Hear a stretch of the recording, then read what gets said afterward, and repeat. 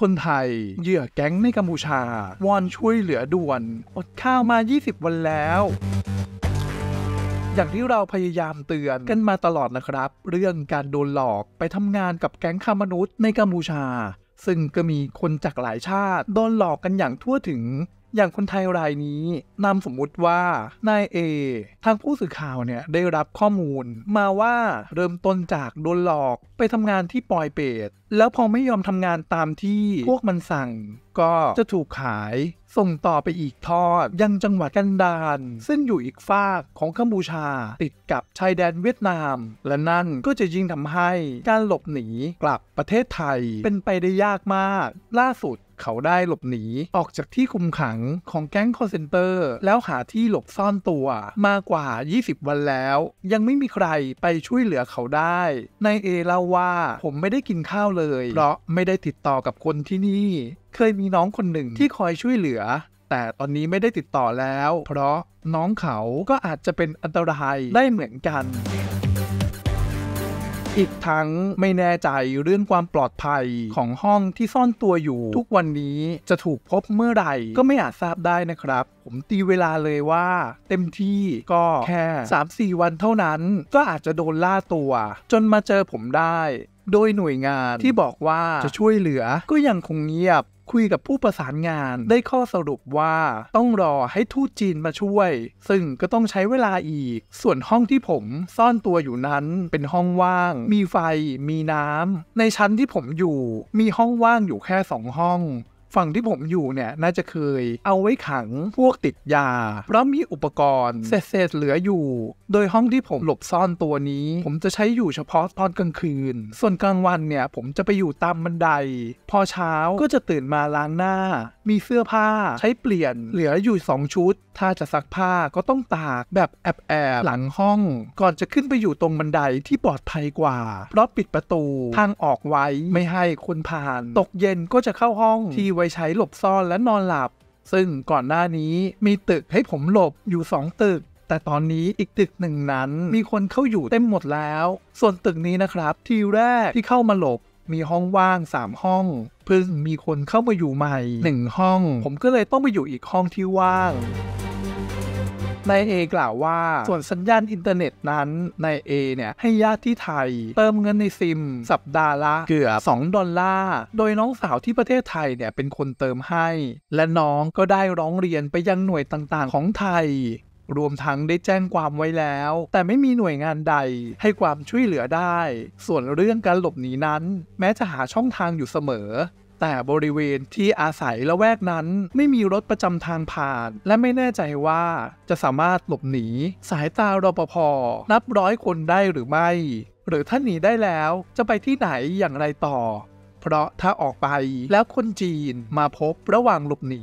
ผมคิดว่าถ้าไม่โดนขังมืด ก็อาจจะถูกขายไปอยู่ที่อื่น เหมือนที่เคยถูกขายมาจากปอยเปตอีกอย่างนะครับ ผมไม่ได้กินข้าว ตอนนี้ร่างกายไม่ไหวแล้ว ปวดท้องและเวียนหัว ก็ไม่รู้นะครับว่าจะช่วยอย่างไร เพราะพื้นที่ดังกล่าวอยู่ห่างจากชายแดนไทยมากด้วย ถ้ายังอยู่ในปอยเปตเนี่ยก็ยังพอจะมีคนเข้าไปช่วยเหลือเอาตัวออกมาได้บ้าง อย่างไรก็ตามนะครับ ในช่วงไม่กี่วันที่ผ่านมานายเศรษฐาเซวีสิน นายกรัฐมนตรีของไทย ได้ยกหูคุยกับนายฮุนมาเน็ตนายกรัฐมนตรีของกัมพูชา ขอความร่วมมือเกี่ยวกับการปราบปราม แก๊งคอลเซ็นเตอร์ โดยจะให้ผู้บัญชาการตำรวจแห่งชาติ ทั้งสองประเทศ ร่วมกันทำงาน และขอให้เห็นผลภายใน 60 วันนับจากนี้ ซึ่งก็อาจจะช่วยนายเอไม่ทันหรือเปล่า ล่าสุดนะครับ ทางสำนักข่าวชายคอได้ลงข่าวว่า แม้กระทั่งเหยื่อขบวนการค้ามนุษย์จากโมร็อกโกก็ยังไม่รอด ยังโดนหลอกพร้อมกับเหยื่อ ชาวอินเดียอีกนับไม่ถ้วนที่สำคัญมีการทุบตีทำร้ายร่างกาย จนเสียชีวิตไปแล้วอีกด้วย โดยแก๊งค้ามนุษย์ หรือแก๊งคอลเซ็นเตอร์เหล่านี้ ส่วนใหญ่ล้วนมีเจ้าของเป็นคนจีน และอาศัยช่องว่างทางกฎหมายในประเทศรอบบ้านเรานี่แหละครับ ทั้งเมียนมาหรือพม่าทั้งในลาวและกัมพูชา โดยแก๊งพวกนี้จะใช้วิธีโพสต์ชักชวนมาทำงานในประเทศไทยสมมุตินะครับว่าเป็นคนต่างชาติอินเดีย หรือโมร็อกโก หรือประเทศอื่นๆเนี่ย เมื่อโดนหลอกให้ขึ้นเครื่องบินมาแล้ว ก็จะมีคนไปรับ แล้วพาไปส่งยันจุดหมายปลายทาง ซึ่งก็คือประเทศรอบบ้านเหล่านั้น แล้วมารู้ตัวอีกทีว่าโดนหลอกก็คือไปถึงจุดหมาย โดนควบคุมตัวเรียบร้อยแล้ว และถ้าไม่ยอมทำตามที่สั่งก็มีทางให้เลือก คือต้องยอมจ่ายค่าไถ่เป็นเงินจำนวนสูง แต่ถ้าใครที่ทางบ้านไม่มีเงินจ่ายค่าไถ่ตัว แล้วยังไม่ยอมทำงานก็จะโดนทำร้ายร่างกาย หรือโดนขายไปอีกทอด บางคนเนี่ยโดนค้าอวัยวะ ถ้าเป็นผู้หญิงก็จะโดนขายไปค้าบริการโดยหนึ่งในชาวโมร็อกโกที่ถูกหลอกไปทำงานกับแก๊งค้ามนุษย์แห่งหนึ่ง ในประเทศพม่า ชื่อว่านายมุสตาฟา แฉว่าในสถานที่แห่งนั้นมีทั้งเหยื่อชาวจีน ชาวไต้หวัน ชาวอินเดีย และชาวต่างประเทศอีกนับไม่ถ้วน ซึ่งตัวเองนั้นก็ไม่รู้ทั้งหมดหรอกว่ามาจากประเทศอะไรบ้าง ขนาดคนจีนด้วยกันเอง พวกมันยังทำกันได้ลงคอ ซึ่งตอนที่พวกตนออกมา มีทหารเข้าไปช่วยชาวไต้หวันออกมาด้วย ตนเชื่อว่าทางการจีนรับรู้สถานการณ์ทั้งหมดดังนั้นหากเขาห้ามไม่ให้คนจีนเข้ามาในพื้นที่เหล่านี้ ก็ห้ามได้ รัฐบาลจีนมีอำนาจอยู่แล้ว หากเป็นความร่วมมือของประเทศต่างๆ ที่ต้องการหยุดอาชญากรรมนี้ก็ทำได้ไม่ยาก แต่ทำไมจีนถึงไม่ทำอันนี้ก็ไม่รู้นะครับนายมุสตาฟายังแฉต่ออีกว่า ในห้องทำงานของเรา มีคนทำงาน 8 คน มีคนจีนด้วย ชาติอื่นด้วย นอนอยู่ตรงนั้นเลย ในนั้นมีบริษัทอยู่ประมาณ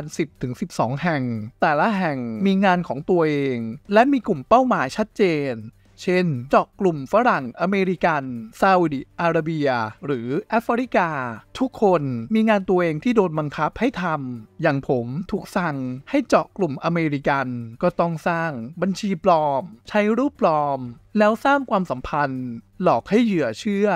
ทุกอย่างเป็นเรื่องหลอกลวงทั้งสิ้น เราต้องโน้มน้าวให้ลูกค้าเชื่อ และโน้มน้าวให้เหยื่อยอมลงทุน ในสกุลเงินคริปโต หรือลงทุนในเว็บปลอม ทุกอย่างปลอมทั้งหมด โดยมาเฟียจีนนั่นแหละ เป็นเจ้าของเว็บ ซึ่งพอโดนยักย้ายถ่ายเท ไปเป็นเงินคริปโตก็ทำให้การติดตามเอาเงินคืนนั้น ยิ่งยากเข้าไปอีกสมมุตินะครับว่ามี 10 ทีม 10 คน ก็ต้องทำเงินให้ได้1ถึง2แสนดอลลาร์ หรือประมาณ 360,000 บาทถึง 720,000 บาทต่อเดือน แล้วทุกสิ้นเดือนเนี่ย บริษัทน่าจะได้เงินไปประมาณ 2 ล้านดอลลาร์ หรือตีเป็นเงินไทยก็ประมาณ 72 ล้านบาท แล้วโอนทั้งหมดให้บอสคนจีนที่เป็นเจ้าของบริษัท ซึ่งก็ดูเหมือนว่าสถานการณ์ของแก๊งค้ามนุษย์หรือแก๊งคอร์เซนเตอร์รอบบ้านเรา ดูท่าแล้วคงจะไม่สามารถจบลงได้อย่างง่ายดายในเร็ววันนี้นะครับ ออกจะรุนแรงมากขึ้นด้วยซ้ำเพราะด้วยยอดเงินที่หลอกลวงไปได้นั้นมหาศาล อีกทั้งยังตามจับตัวเจ้าของได้ยาก ส่วนไอ้ที่จับได้ก็คือเหล่าลูกน้องทั้งนั้นแหละครับ พี่เป็ดจึงอยากเตือนคนไทย ให้ระมัดระวังอย่าหลงเชื่อการโพสต์รับสมัครงานใด ๆ ในอินเทอร์เน็ตไม่มีหรอกครับ ไปทำงานในลาว ในพม่า หรือในกัมพูชา แล้วรายได้ดี ไม่งั้นคนลาว หรือชาวเขมร รวมทั้งคนพม่า คงไม่หนีเข้ามาทำงานในไทย กันหรอกครับ ก็ฝากแชร์ข่าวนี้ไปเตือนเพื่อนๆ พี่น้องหรือญาติญาติๆกันด้วย ส่วนผู้ชมทางบ้านคิดเห็นอย่างไรกับเรื่องนี้ ก็สามารถคอมเมนต์พูดคุยกันได้เลยครับ Duck 7 News พี่เป็ด รายงาน